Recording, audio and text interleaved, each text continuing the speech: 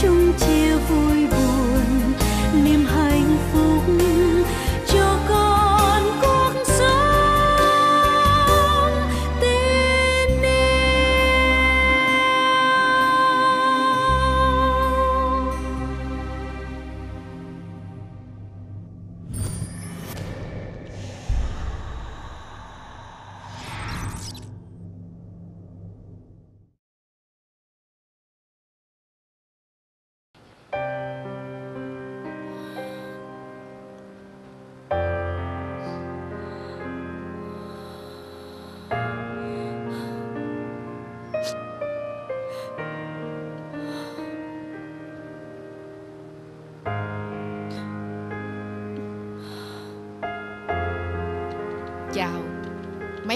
sao rồi?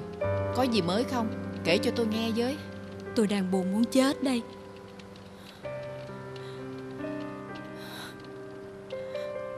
Tôi bắt quả tang ảnh phản bội. Ảnh đi tu nghiệp về. Mà ghé nhà con hồ ly tinh kia.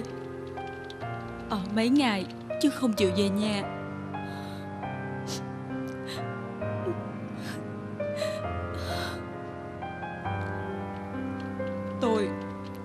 Hiểu nổi.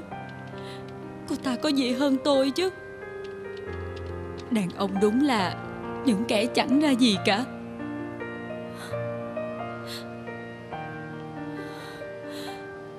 Bạn đừng nghĩ vậy. Chuyện gì cũng có lý do của nó. Tôi chẳng làm gì sai cả. Anh ta cũng giống như tất cả những người đàn ông khác thôi. Chán cơm thèm phở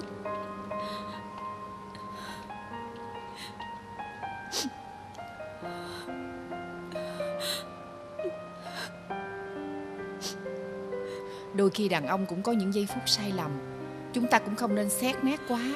Hãy để cho họ lối quay về.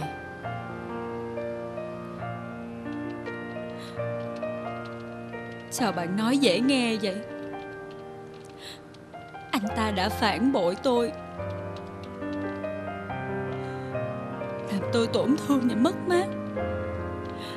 Tôi sẽ không bỏ qua chuyện này đâu. Vậy bạn định làm sao chứ tôi sẽ cho anh ta biết cảm giác bị phản bội ra sao. Anh ta cặp bồ với người khác được. Tôi sẽ cho anh ta biết cảm giác đó ra sao. Bạn nghĩ như vậy là giải pháp tốt nhất sao?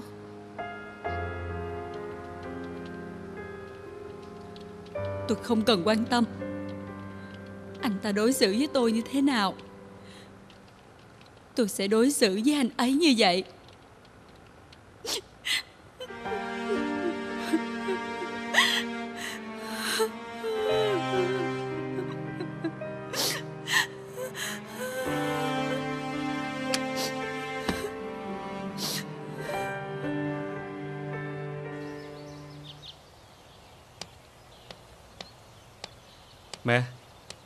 Con mới về.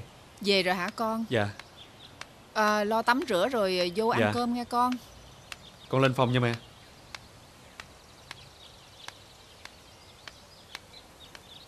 Dạ Chào mẹ. Ủa Anh mới đi làm về hả? Ờ, Hôm nay á Em đi chơi với bạn. Có lẽ là về trễ đó Đừng có đợi nha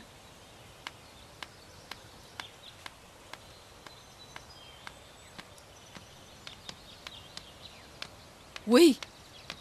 Dạ. Gì vậy? Hai đứa tụi mày gặp nhau mà giống như là người dân là sao vậy? Trời đất ơi vợ chồng gì mà gặp nhau? Lạnh nhạt vậy là sao? Con biết phải làm gì đây mẹ. Còn đứng đó nữa hả? Chạy theo kêu nó lại. Còn hỏi làm gì nữa? Đi. Dạ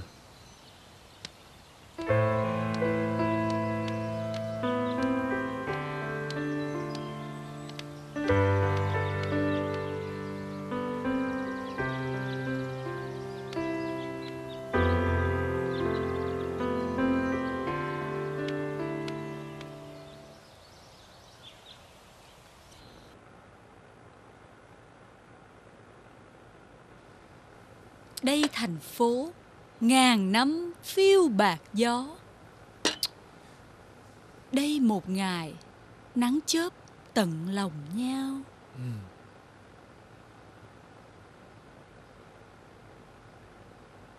Đây thành phố, Ngày ta đi gửi lại.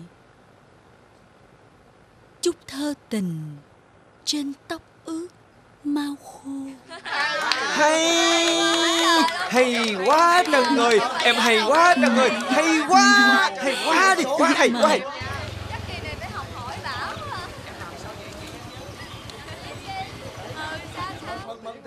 Bữa đêm đi. Một, hai, ba, vô. Mời.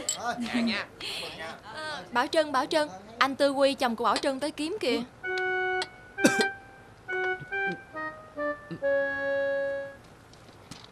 Ừ, sao anh ta đứng trước cửa chị vậy Thanh? Hả? Kệ anh đi. Ghê nha, ghê nha. Coi bộ anh ta không yên tâm khi đẩy Bảo Trân đi một mình rồi.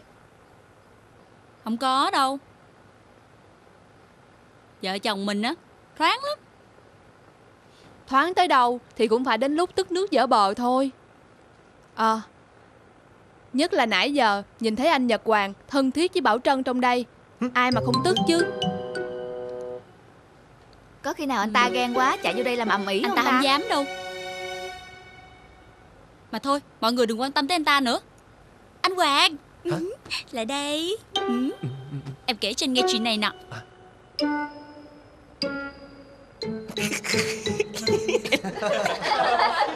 anh, Nãy giờ em để ý áo anh nó đẹp lắm nha.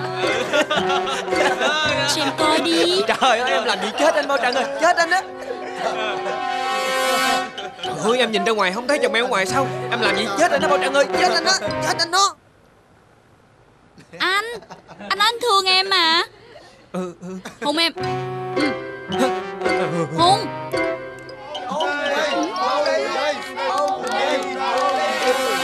Thôi, thôi thôi không hôn gì hết không hôn gì hết. À, em em em muốn hôn phải không? Ra ngoài chồng em hôn em kìa. Nhanh đi ra ngoài kìa. Đi đi đi đi chồng em hôn em kìa. Đi đi đi đi đi đi đi đi đi đi đi đi. Coi Bảo Trân kìa.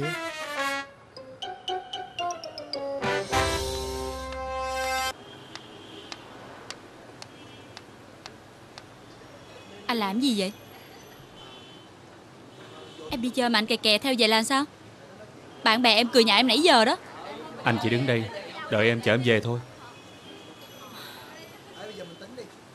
Em cảm ơn anh.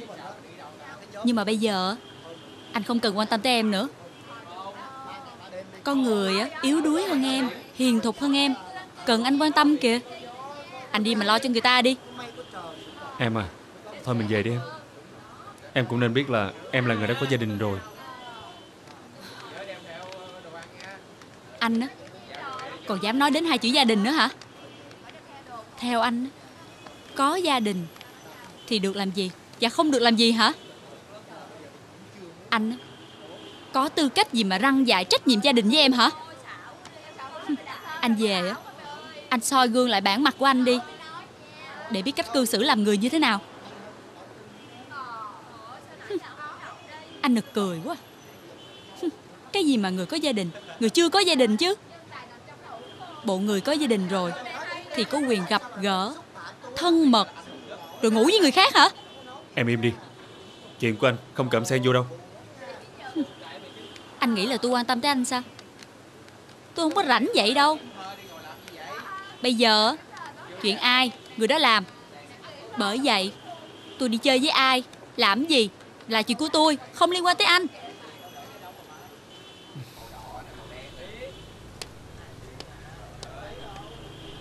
Anh nói cho em biết. Anh cũng không rảnh đâu coi với em. Chẳng qua là mẹ kêu anh qua đây Chở em về thôi. À Thì ra là vậy hả? Tôi biết mà. Đâu phải tự nhiên quan tâm tới tôi đâu. Chẳng qua Là vì mẹ bắt anh phải làm như vậy thôi.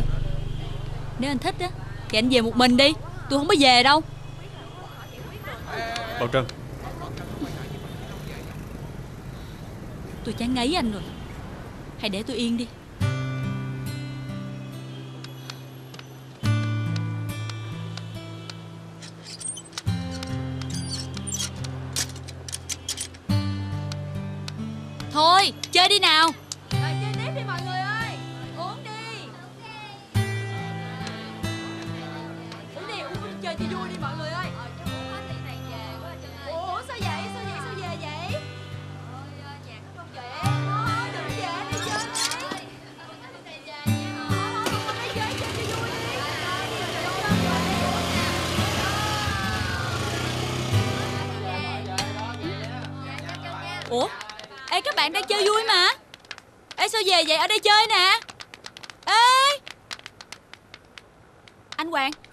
Mọi người kỳ vậy? Sao bỏ dễ trơn vậy?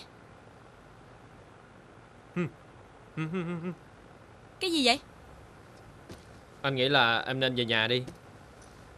Anh không muốn thấy gia đình em xào xáo gì anh đâu. Thì sao chứ? Em muốn á Anh Tư Quy á tức điên lên vì em mà. Ờ, Thôi đừng đừng. Đừng đùa với lửa em. Em về đi em về đi. Anh chúc vợ chồng em hạnh phúc. Chúc vợ chồng em mau làm lành với nhau Hạnh phúc làm lành với nhau nha. Thôi được rồi. À, Về đi về đi về đi. À, Về đi nha. Anh sao vậy? Anh làm gì kỳ quá vậy? Sao anh đuổi em? Thôi em về đi về đi. Về với chồng em đi Đi đi. Anh á Anh là đồ tồi. Đồ con rùa rút cổ. Đuổi hả? Tôi về.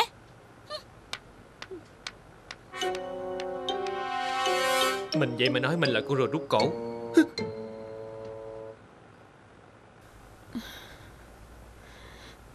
Chị Chị giúp em với. Em không thể đến đó một mình được. Hơn 2 tiếng nữa chị đi công tác rồi. Phải hơn tuần nữa chị mới về. Làm sao đi chung với em được đây? Em chịu khó đi một mình nha. Làm sao em dám đến bệnh viện một mình hả chị? Mọi người Sẽ nhìn em với ánh mắt dị nghị. Rồi Rồi những lời xì xào bàn tán Em Em chịu không nổi đâu. Đằng nào á, Em cũng phải đối diện với sự thật thôi. Bụng của em càng ngày một lớn rồi, Làm sao che mắt thiên hạ đây? Em chịu khó đi một mình nha. Giờ chị phải đi làm rồi. Chị đi nha.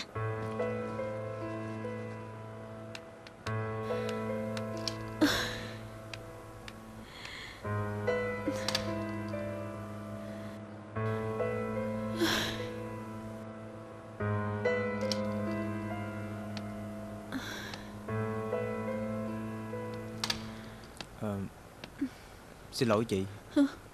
Nãy giờ tôi đứng ở ngoài tôi nghe hết chuyện của chị. Ờ, Nếu ờ, chị không ngại Để tôi đưa chị đi. Anh Anh Anh không thấy phiền hả? Nếu phiền ờ, thì tôi đâu có đề nghị chị như vậy. Nhưng nếu mọi người nhìn thấy Anh sẽ khó ăn khó nói lắm. Không nghiêm trọng tới mức đó đâu. Chị đừng có lo. Tôi Tôi không muốn ảnh hưởng tới anh. Tôi không có quan tâm. Vì vậy ờ, chị cũng đừng nặng nề quá. Nếu chị ngại á Thì ờ, chị cứ coi tôi như là anh trai của chị là được rồi.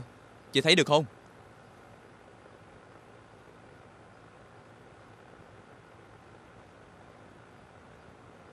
Cảm ơn anh.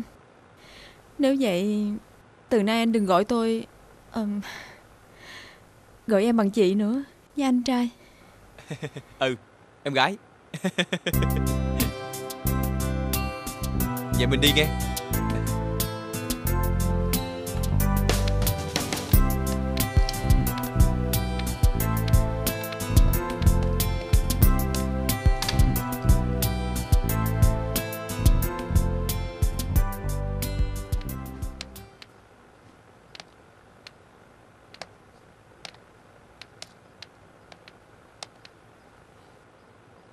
Không sao chứ? Dạ em không sao. Anh là chồng mà sao thiếu sự quan tâm tới vợ quá vậy? Ờ, Dạ thưa bác sĩ Ảnh ờ, Dạ bác sĩ cần có gì phải dặn dò Xin bác sĩ cứ nói ạ. Đây là thời kỳ thai nhi phát triển tương đối nhanh Nên lúc này dinh dưỡng rất quan trọng đối với mẹ và con. Nếu thiếu chất sẽ gây ra những hậu quả rất nghiêm trọng. Hơn nữa dưỡng thai ở tháng thứ năm Là nhớ chú ý sử dụng dây băng bụng Do bụng dưới trùng xuống. Ở phía trên á, thì to lên. Để đề phòng cơ thể bị nhiễm lạnh ở vùng bụng. Phải thắt một cuộn băng ngang bụng Nhưng không nên thắt quá chặt Và nhớ là không được mặc áo len. Dạ Mấy chuyện này thì tôi biết. Tôi có hai đứa con rồi. À, thì ra anh tới hai vợ lần hả? Dạ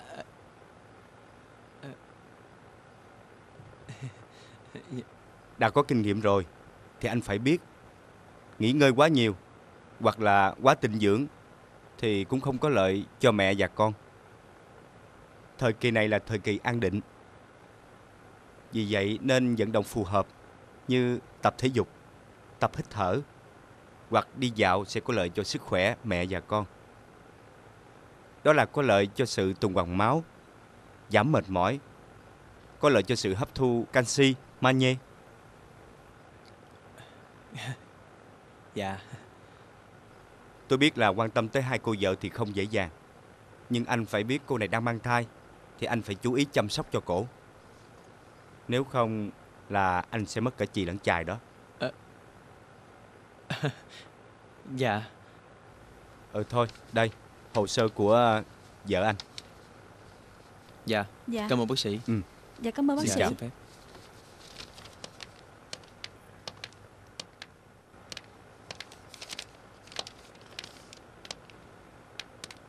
Cảm ơn anh. Lúc nãy không có anh Em không biết phải làm sao nữa. Em thật ngại quá. Không có gì đâu. Em đừng suy nghĩ nhiều quá. Anh thật tốt bụng. Chị Thủy may mắn có được người chồng tốt như anh. Lúc nãy em làm anh ngại hả? Đâu có. Đối với người phụ nữ Điều quan trọng nhất Không phải là tiền bạc Hay là địa vị? Mà chính là có một người chồng tốt Biết quan tâm tới mình. Rồi em sẽ tìm được một người đàn ông tốt Phù hợp với em. Hoàn cảnh của em Đã như vậy rồi Còn trông mong gì hả anh? Không phải người đàn ông nào Cũng coi trọng việc đó đâu. Một khi người đàn ông đã yêu Thì họ sẽ yêu tất cả những gì Thuộc về người mà mình yêu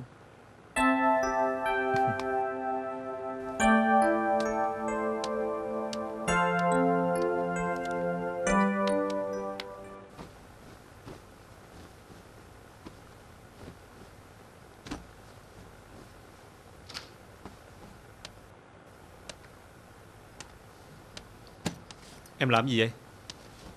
Anh không thấy hả? Anh hỏi em làm cái gì? Dọn đồ về. Chúng ta về nhà cũ. Nhưng mà ở đây với mẹ Với anh chị anh thấy tốt hơn Là về sống chỉ hai đứa mình. Anh chán tôi chứ gì? Em làm ơn Nghe nói một câu đi chứ. Đừng có mỉa mai dằn vặt hoài như vậy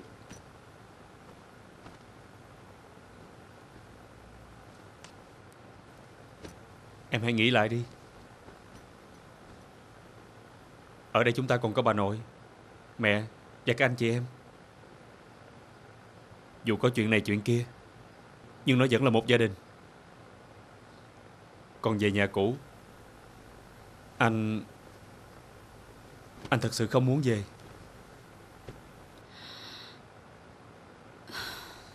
Anh không cảm thấy nơi đó Có một chút gì gọi là gia đình hết đó Tôi biết. Về đó. Chỉ có anh và tôi thôi. Anh chưa bao giờ coi tôi là gia đình của anh hết. Nên anh luôn cảm thấy cô đơn. Bởi vậy, Anh mới đi tìm hạnh phúc ấm áp bên ngoài phải không? Em thôi đi. Em biết là anh thật sự không có ý đó mà. Anh không muốn. Hãy cứ có chuyện gì, Làm lo những chuyện đó ra mỉa mai như vậy. Nếu như anh không muốn người ta nói Thì anh đừng có làm. Còn nếu như anh muốn nữa, Thì anh ở lại đây đi. Tôi sẽ về một mình. Em à Trân. Trân. Bảo Trân.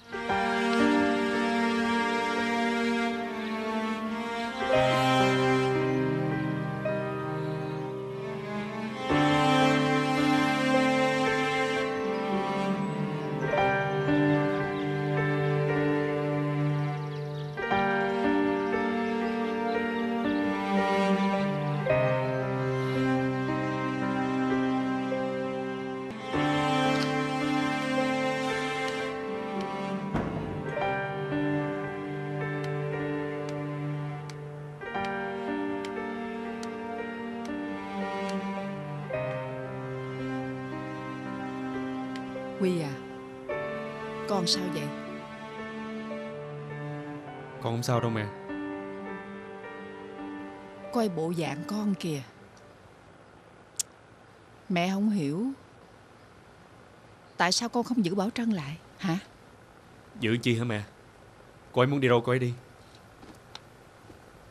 Bây giờ con không còn muốn giữ cô ấy ở lại nữa. Con mệt mỏi Vì phải chịu đựng cái tính Động đảnh, ích kỷ Cổ chỉ biết nghĩ cho bản thân cổ thôi à Nói vậy mà nghe được đó hả? Con có biết là con làm cho mẹ thất vọng lắm không? Con nghĩ lại coi, Trong cái chuyện này ai ích kỷ hơn ai? Bảo Trân dù sao nó cũng chỉ là một đứa con gái, Yếu đuối và nông nổi. Chính vì vậy, Nó mới cần một người chồng mạnh mẽ và rộng lượng Để có thể làm chỗ dựa mà bao dung cho nó. Vậy mà con Vậy mẹ muốn con phải làm sao đi chứ? Con đã nhiều lần khuyên cô ấy sửa đổi tính nết rồi kia mà. Nhưng mà cô ấy có chịu nghe con đâu. Con đã năn nỉ cô ấy nghe con giải thích Nghe con tâm sự nè. Vậy mà cô ấy suốt ngày chỉ biết trả đũa con à.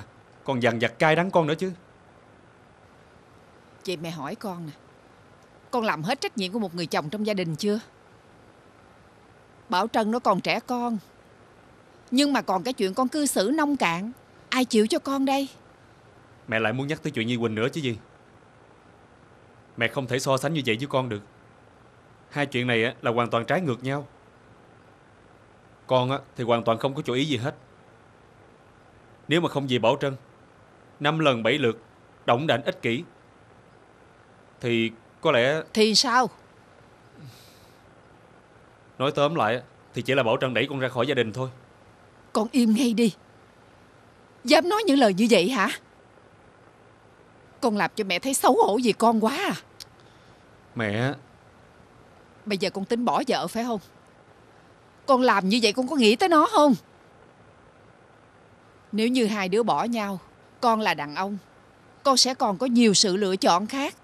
Còn Bảo Trân thì sao?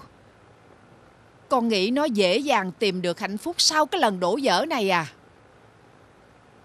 Đàn ông mà vô trách nhiệm như vậy hả con? Quy à Mẹ biết là nhất thời các con làm những chuyện hồ đồ. Hai đứa đều chỉ nghĩ tới cái riêng của mình. Nhưng mà con là đàn ông. Con bỏ qua và làm lành với vợ con đi.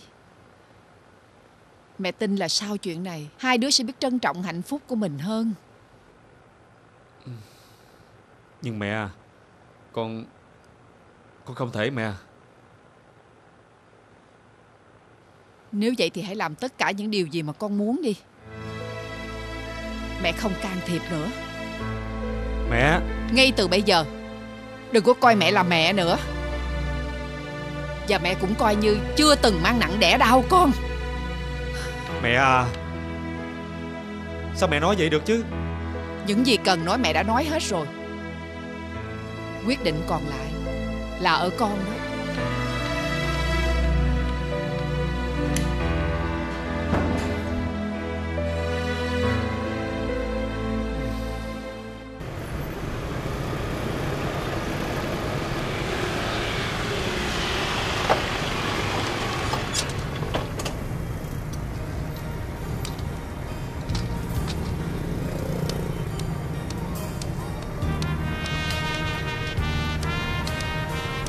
Em ơi, Cho anh hỏi thăm Chị Như Quỳnh sang quán hồi nào vậy? Em Dạ sang quán cho chủ mới thôi.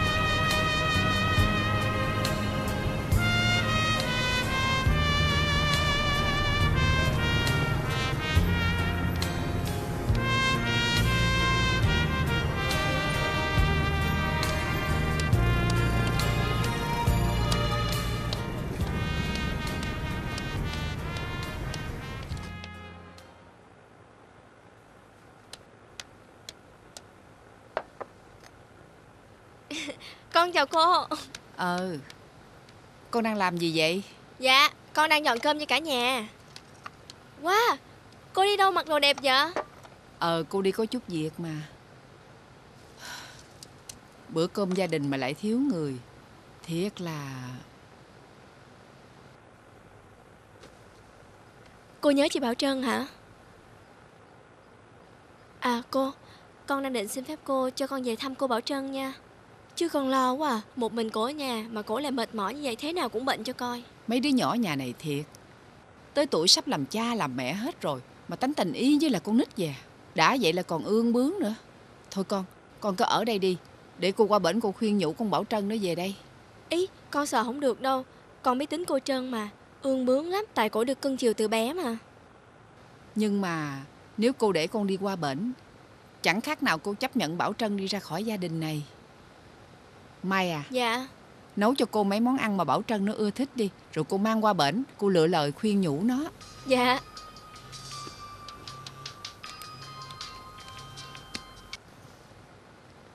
Alo?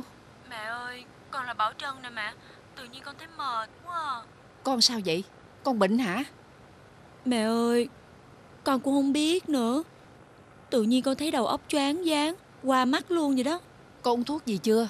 Hả Ờm, Dạ Toàn thân cô đau ê ẩm mẹ ơi. Không có đi đứng gì được hết trơn á. Nè nè nằm yên đó Không có đi đứng gì hết trơn á Để mày chạy qua liền. Nghe chưa? Ở yên đó. Dạ. Mai ơi Cô đi nghe Mai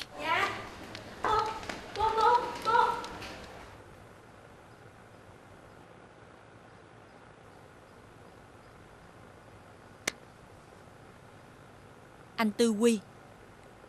Anh đừng có tưởng Là chỉ có mình anh làm khổ tôi thôi nghe chưa? Tôi hả?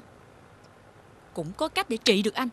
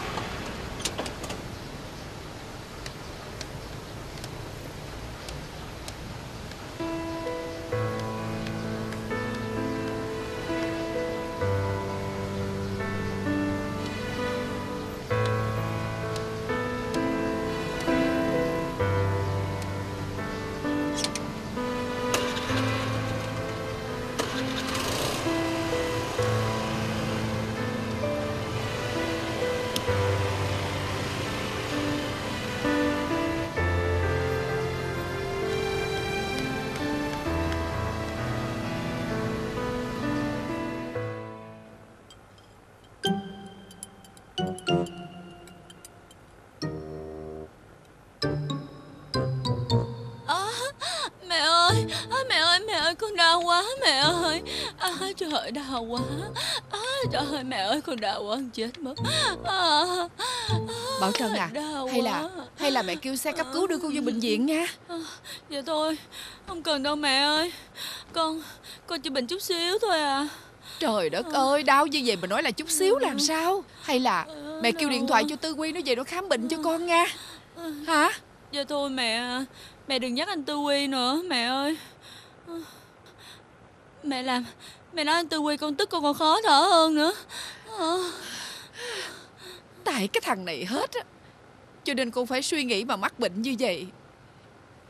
Mẹ xấu hổ với ba con quá à. Mẹ à, Mẹ đừng có nói như vậy.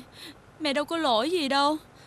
Tại Con với anh Tư Quy Hết duyên hết nợ thôi mẹ à. Con đừng có lo Nhất định. Mẹ sẽ không để cho thằng Tư Quy phải đối xử với con như vậy đâu. Mẹ sẽ bắt nó tới đây xin lỗi con Và rước con về. Dạ Con cảm ơn mẹ đã lo cho con.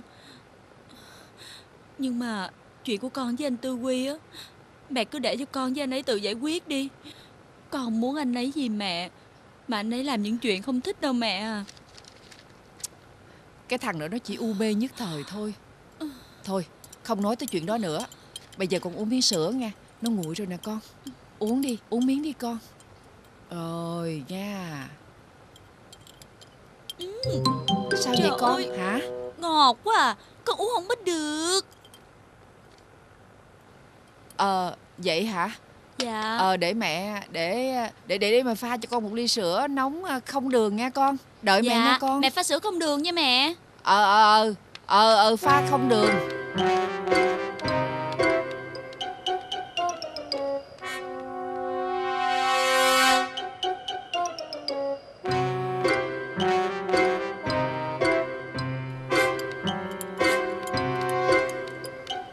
Ly sữa không đường đây. Giờ con uống sữa không đường nè. Đây con. Đây đây Dạ. đây. Khoan khoan còn nóng con. Cái gì vậy con? Hả? Cái gì vậy? Cái gì vậy? Mẹ ơi Tự nhiên con nghe mùi sữa cũng ói Giờ làm sao con? Bây Hả? giờ con Con Con muốn ăn dưa hoàng kim trong tủ lạnh đó mẹ ơi Ờ Ờ ờ mẹ gọt sẵn rồi. Ờ để mẹ lấy nha. Con đừng có ói nghe con. Để để để mẹ lấy cho con ăn.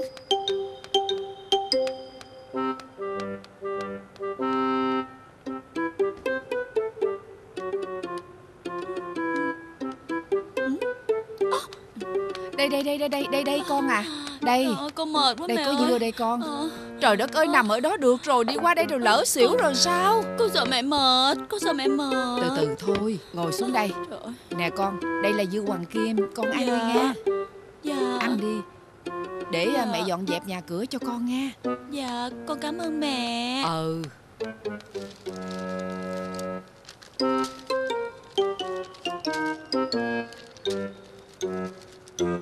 à Mẹ ơi.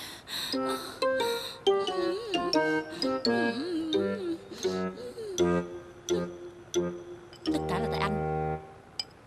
Nếu nhà không đối xử tệ bạc với tôi Tôi không bắt mẹ làm vậy đâu. Anh có trách tôi quá đáng.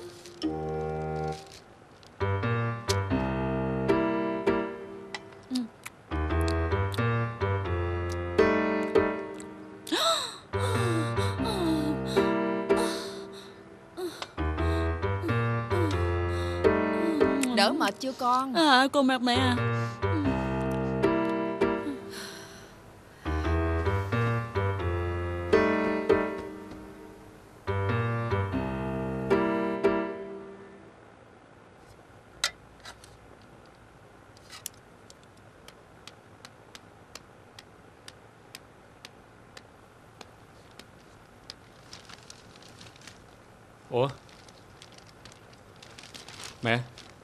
Mẹ đem đồ ăn đi đâu vậy? Mẹ đem cho bà Trân hả mẹ? Con biết rồi con hỏi làm gì? Sao mẹ phải làm như vậy? Bảo Trân là con dâu Cổ không chăm sóc mẹ thì thôi. Sao mẹ phải vất vả gì quá anh chi vậy? Mẹ không cần phải làm như vậy nữa đâu. Con còn nói nữa hả? Mẹ làm như vậy là vì con đó. Sao lại vì con chứ? Nếu không vì con Thì là vì ai nữa? Nếu mà nó không vì chuyện của con Thì đâu đến ra nông nổi này Mẹ chăm sóc cho nó là để bù đắp tất cả những gì mà con đã gây ra cho nó đó. Mẹ à Đó là chuyện riêng của con với Bảo Trân.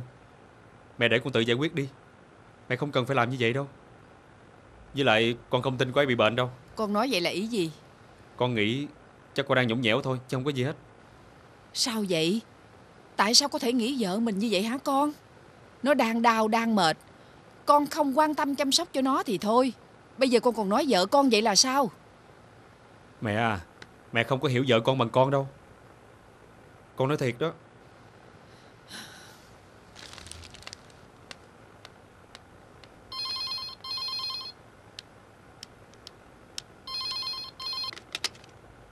Alo?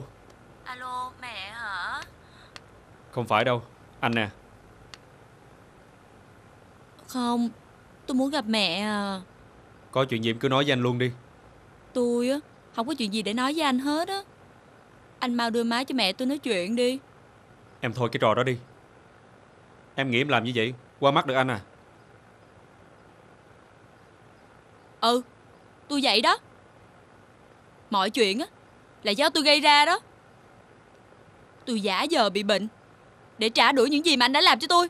Em á suy nghĩ như vậy Là thật hồ đồ em biết không? Em có tức giận Thì gặp anh mà gây chuyện với anh Tại sao lại mang mẹ ra hành hạ như vậy? Em coi đi. Lớn rồi em suy nghĩ vậy sao được? Sao anh lại đổ lỗi cho tôi chứ? Nếu như không vì anh Thì Anh Anh có biết anh đã làm tổn thương tôi như thế nào không? Anh cứ chờ đi. Tôi sẽ còn nhiều trò hay hơn nữa. Để anh biết được cảm giác mà Người khác làm cho anh đau khổ như thế nào. Em căm ghét anh tới mức như vậy thiệt sao? Nếu vậy á Em không cần phải mất thời gian hao tốn sức lực nữa. Tốt nhất là bây giờ chúng ta ra tòa ly dị đi Rồi đừng ai nấy đi luôn. Được rồi. Nếu như anh nói vậy Thì anh viết đơn đi. Sáng mai đem qua đây. Tôi ký. Em nói đó nha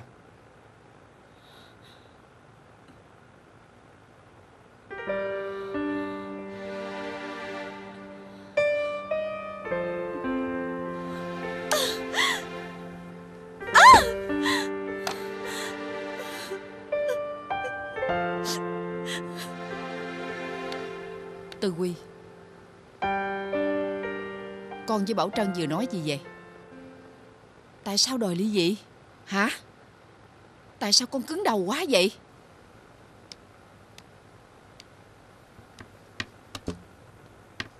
Mẹ ngồi đi. Bây giờ con cũng không biết phải làm sao nữa. Bảo Trân, Cô ấy càng lúc càng quá đáng. Con không thể chịu nổi tính khí của cô ấy nữa. Chính thái độ của cô ấy Càng lúc càng đẩy xa con ra hơn. Con nghĩ Ly dị có lẽ là giải pháp tốt nhất cho cả hai. Mẹ không tin. Không có chuyện gì mà không thể giải quyết được. Các con hãy suy nghĩ cho thật kỹ. Mẹ cũng không thể chấp nhận chuyện con và Bảo Trân ly dị. Nếu mà con nhất quyết là con làm chuyện đó Mẹ sẽ không tha thứ cho con đâu. Mẹ à Bảo Trân làm khó cho con rồi bây giờ đến lượt mẹ nữa. Con á, Cũng chỉ vì bất đắc dĩ mà con phải làm như vậy thôi. Chứ nếu mà cứ để tình trạng này hoài á, Sẽ đến lúc con và cái không thể nhìn mặt nhau được nữa. Mẹ có hiểu cho con không chứ?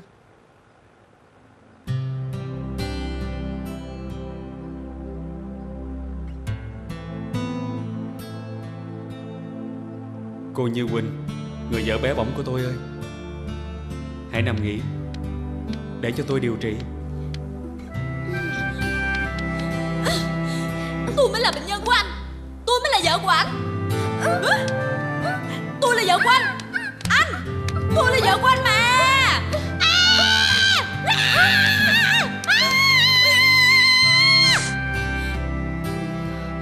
Không Tôi mới là bệnh nhân của anh.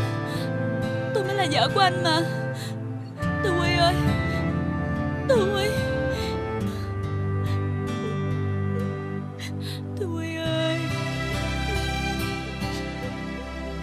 Lại bỏ em mà đi chứ.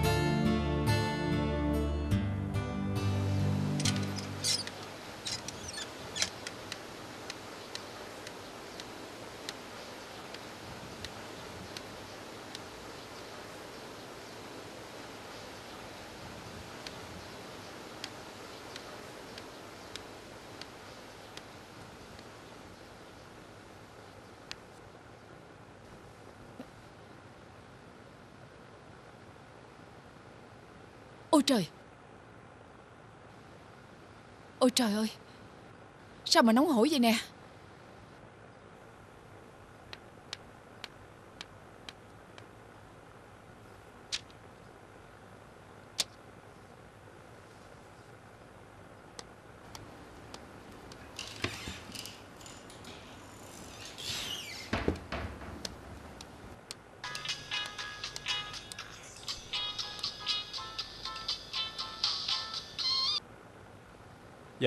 Alo? Con ơi Dạ? Hôm qua cô Bảo Trân nó bệnh sao nè con? Nó sốt cao lắm. Mẹ đừng có lo quá. Cô ấy không sao đâu. Chắc lại bày trò trẻ con nữa thôi à. Trời ơi Bây giờ không phải là lúc để cho con đùa đâu. Mẹ vừa mới coi thử trán nó Nó nóng quá trời luôn nè con. Qua coi coi nó sao rồi Rồi đưa Con nó đi rồi. bệnh viện đi con. Lát con qua. Con à Qua nhanh đi con. Dạ con biết rồi mà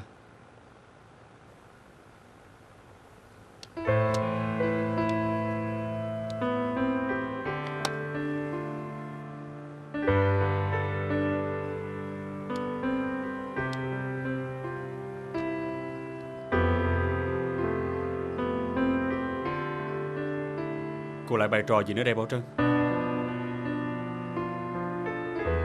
Đơn ly dị của cô nè. Đó, cô ghi đi.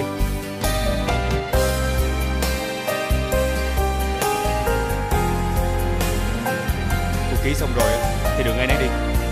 Sẽ không ai làm khổ cô nữa đâu. Thật ra, Anh thấy em và anh ta cũng xứng đôi lắm. Ít nhất là hôm nay.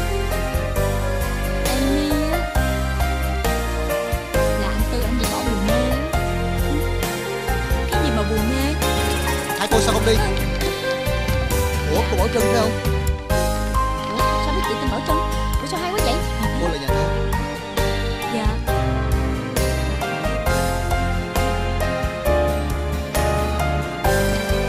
Ừ. Tôi lên giường với người đàn ông khác